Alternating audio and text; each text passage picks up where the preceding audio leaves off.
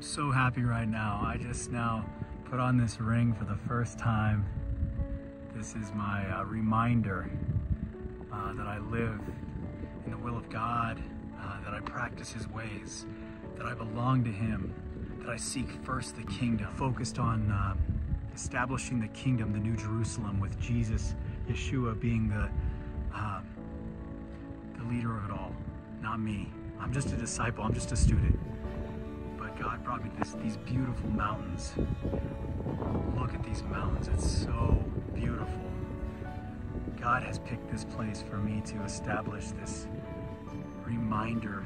I didn't make any vows because Jesus said make no vows. So I didn't want to do that because, you know, I'm a man, I'm imperfect, but a lot of airplanes today. I'm just a man, just a student, a disciple Yeshua.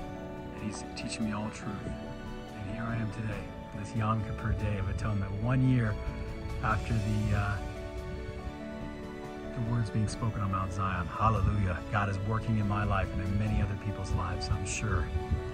He's getting his people prepared. Hallelujah.